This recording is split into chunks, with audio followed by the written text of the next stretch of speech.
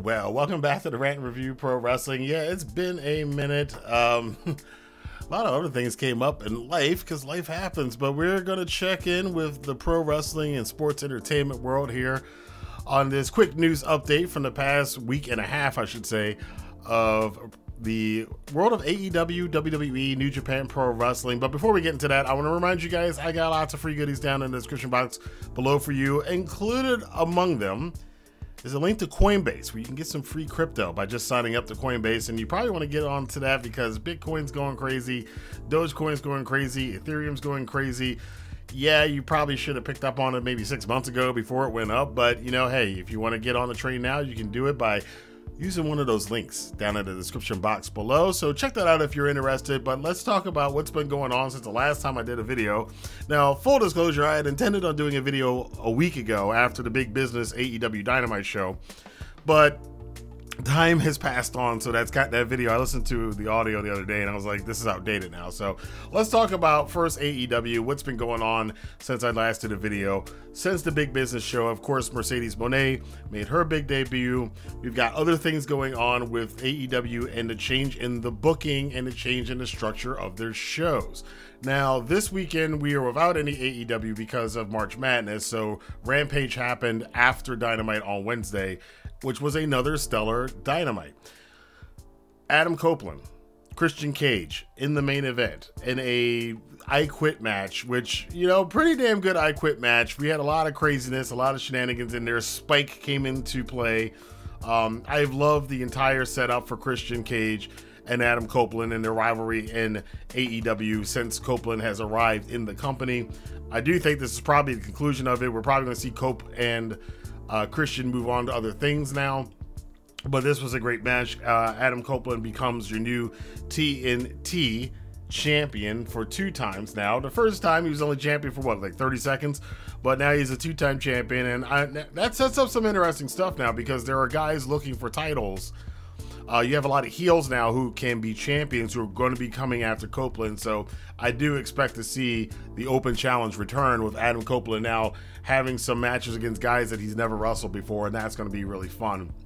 We also had another new champion this past Wednesday, as also a couple weeks ago, Kazuchika Okada made his debut in AEW. He is now part of the Elite, taking over Kenny Omega's spot, which is kind of funny with the Young Bucks. And that trio that trio is really good. I, I I hesitate to say it's kind of like the NWO, the original NWO, because it really it is and it isn't. It isn't as impactful as when Hogan was revealed to be the third man. Okada being the third man now in the elite after they kicked out Kenny Omega is it's similar but not the same. But I like the fact that Okada is really embracing you know his more heel tendencies, which have always been there. Uh, Okada was all you know he was seen as a face for the most of the last couple years in New Japan, but you know, you see him when he would take on like Tenzan and a G1, or he would face certain other guys, especially last year when he was uh, feuding with Kaito Kiyomiya from uh, Pro Wrestling Noah. Heel Okada is a lot of a lot of fun. Heel Okada is very entertaining, and he's been heeling it up ever since he's been in AEW. Uh, he's funny. Uh, his in-ring stuff is funny. The backstage promos, what he, they've got him doing, are pretty good. And he was taking on Eddie Kingston just for the Continental Championship, not for the Triple Crown. So it was only the AEW title, not the Ring of Honor title or the New Japan Strong title, which I thought would have been funny because when he challenged Eddie Kingston, I was like, so wait a minute, Okada's probably going to, well, Okada obviously we all knew he was going to win, but he's probably going to wind up with a New Japan Championship after just leaving New Japan. No, he isn't. Eddie Kingston is still the NJPW Strong Champion and the Ring of Honor World Champion, but he is no longer the AEW Continental Champion. Okada won that belt this past week in, in magnificent fashion, uh, showing that he still got it, and I am so excited to see what Okada has in the future. We got Will Ospreay and Bryan Danielson now setting up for a big match at AEW Dynasty next month in April. And I, let me let me say this about Ospreay and Okada, and I've said this on social media, but you know, for those of you who don't follow me on Twitter or Facebook or Instagram, or I'm not even on Instagram anymore, but if you don't follow me there, I'm going to reiterate it here. For so many years, we have heard how oh Okada can't cut promos, Will Ospreay can't cut promos. They be bad in AEW, they be bad in WWE. Okada's personality is absolutely coming through on AEW television He is fantastic. He knows exactly what he's doing. And Will Ospreay, my God, I, I mean, I've, I've watched Ospreay since his first match in New Japan against Kushida back in I think it was 2016. Been a big fan of Ospreay's for a long time. Ospreay could cut a promo, but I did not know how good he was going to be on American television cutting promos. He's probably one of the best promo guys, strangely enough, right now in wrestling. I'm not stretching when I say that. He's pretty good. He's pretty damn good. He's got command of the audience. He knows how to tell a story in his promos. He knows how to hit his right beats in his promos. He studied this. You can tell he studied how to do North American TV wrestling for a while, and he's doing a damn good job. And I cannot wait for his match against Danielson. I just don't want a Tiger Driver 96 or 97 or whatever the hell it is on Danielson. Let's not do that. Um, both of them have faced or are going to be facing Shibata. Danielson just faced Shibata last week on Collision and won the match, which was a dream match for me. And now Ospreay will be having a rematch that's like seven years in the making uh, from the last time he faced Shibata in New Japan, coming up this week on Dynamite to kind of say, you know, look, Danielson, what you can do, I can do better. Uh, so it's great. It's great to see all of this stuff. All these guys are being used in the right way. AEW has been doing really good. The new change in the way that they're structuring their shows, uh, the new look of Dynamite. Uh, they, are even adding little things where Renee is like doing little uh, pre-match promos to explain the matches between the entrances. She did that between uh, Okada's entrance and Eddie Kingston's entrance this past week. Uh, more promos that are very short and to the point. I, I, think they've they've made a lot of changes. They've listened to the fans. This is one thing that AEW has done consistently. They usually do is that they do listen to the criticism and they do try to make changes, and we see those changes being made. So I think Dynamite's been a pretty good show for the past couple weeks. We'll see if this continues and we'll see if it affects the ratings, even though I personally am tired of talking about ratings and uh, crowd attendance or whatever. I mean, AEW's had big, bigger crowds the last couple of weeks because they've been promoting the matches and big matches ahead of time, but we'll see how that all pans out as we head on towards Dynasty coming up next month. Over in New Japan, the New Japan Cup concluded. Uh, I did a catch up about the New Japan Cup a week or two ago. Uh, the tournament highlights for me.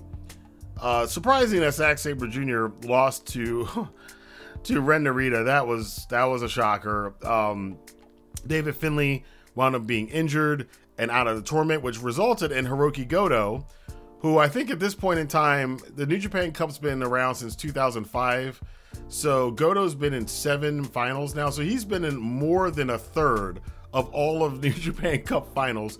He's won three, and now he has lost four as he lost the final to Yota Tsuji, which we kind of expected. Now, from knowing Gedo's booking and his love affair with long haired foreigners, I kind of think that David Finlay was supposed to be in the finals and it wasn't supposed to be Goto. But when in doubt, and it's the New Japan Cup, rely on Hirooki Goto. Um, but Goto, I think they got to give Goto a big win too. That guy is he. I would not mind seeing him with a run with the championship at this point. I think it's now or never. Well, not now or never, but I think in the next year or two, Goto should get a shot at that title and maybe should have a run, even if it's like a two month run. I think it's at this point Hirooki Goto. I hate saying the word deserves, but I think it would be a feel good story and a great moment to send Hirooki Goto on the run to get the world championship and for him to actually win it at some point in time over the next year. We'll see if New Japan does that or not. But the big story is Yota Tsuji winning the New Japan Cup. He will now be facing at Sakura Genesis his stablemate and stable leader Tetsuya Naito for the IWGP World Championship, which possibly could be leading to a big string of matches for Tetsuya Naito as IWGP World Heavyweight Champion. The winner of that match, which I'm assuming is going to be Naito, the very next week is going to be defending the title against Jon Moxley at Windy City Riot. The re- and the reason I say Naito is probably going to win the match against Tsuji, which kind of gives away the main event, is that they've already sold 6,000 tickets, which is probably the biggest, one of the biggest New Japan Strong audiences that they've had since they've started New Japan Strong in the States for that Windy City Riot show where Moxie is going to be challenging for the IWGP Championship. Him versus Naito. I'm definitely getting that pay per view. Uh, the other card, that the card they're just stacking up for that pay per view is pretty good. They just announced that Ishii will be challenging uh, Nick Nemeth, formerly known as Dolph Ziggler, for the Global Championship. So there's a lot going on there. Uh, we did also get an announcement that Gabe Kidd is re-signed with New Japan Pro Wrestling, which I think is crucial because he is one of the biggest potential big stars that they've got right now on a roster of all the young guys that are coming up. Uh, again, for me, it's Gabe Kidd, Yota Tsuji, and I would say I, I would say Shota Umino, but they've been booking him kind of weird lately. Uh, but I think that's a big thing. Those are the three big things that I think coming up in New Japan. Ren not so much. Uh, and the jury's still out on Uemura for me. I know they're praising up Uemura a lot, but I I need to see a little bit more uh, from him as far as him being a next big star. One of the things, and I hate to say this. Well, no, I don't hate to say this. This needs to be said. The thing that ruined the New Japan Cup for me this year was the House of Torture. There were so many House of Torture matches. There was so much House of Torture shenanigans. It's the same thing over and over again. It ruins the atmosphere of the matches. Uh, Jack Perry being part of it, I mean, it kind of makes sense when you look at it because there really wasn't any other faction for Jack Perry to join with. I don't think he would have been good if, to adding him to Bullet Club. I don't think that would have worked. Um, and he wouldn't be with any of the other factions. So it made sense that he was in the House of Torture, but I hate the House of Torture, and they've ruined a lot of the New Japan Cup for me personally.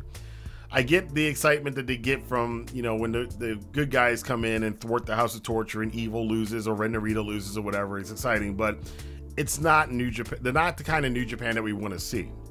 We did get to see some of the New Japan we wanted to see with, especially Sanada's match with Goto. I definitely would go out of my way to see that if you haven't seen it. Uh, there were a couple other matches on, on the tournament that were great. And the final, while not a great match of the year contender between Yota Tsuji and Hirooki Goto, it was it, it did feel like a good traditional New Japan style match with two Japanese wrestlers going at it, which we don't see a lot of, and I think we want to see more of it. I think the Western fans want to see more of that. I think the Japanese fans want to see more of it. We don't need to bring in Nick Nemeth and Matt Riddle and all these other guys and Bryan Danielson to have main event matches. Build up your homegrown Japanese guys, and if you're gonna do it, do it. Let's go with Kiyomiya if he's coming into New Japan. Let's go with Uemura. Let's go with Yota Tsuji. Let's go with Ren Narita and put them in those finals. Tsuji was the best choice. I think he's going to make a good showing of himself against Naito uh, at Sakura Genesis, but I think it's, I don't think he's going to win a title, but I think it's a step towards him. He's he's eventually going to be a champion. He's the best standout of that whole group, so we'll see what happens with that in the future. But uh, big month coming up for New Japan uh, next month in April. There's going to be a lot of cool stuff going on, and we definitely will be following here on the channel. As for WWE, of course, the train continues on to WrestleMania XL some stuff coming out that's not backstage stuff. Um, I mean, there there are rumors going around about some people being upset with The Rock being able to cut the promos that he has. I will say that this whole thing with The Rock and Roman and the Bloodline and Cody and Seth and Jey. It's been interesting, but I'm wondering.